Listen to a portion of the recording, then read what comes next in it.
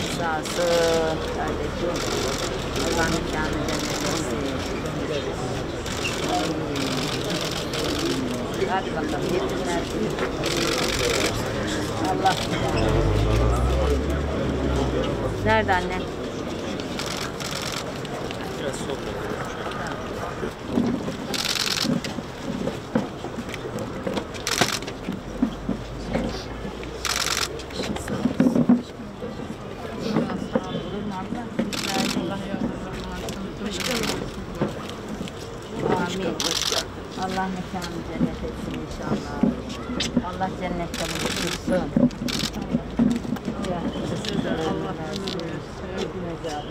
Başkanım hoş geldiniz. Sağ olasın. Söylüyordu, ablam söylüyordu. Abla gene böyle böyle dedi, şöyle şöyle dedi. Bizim de haberlerini getiriyordu bana. Sayın Başkan, Avrupa Öğretmenleri Üniversitesi'nde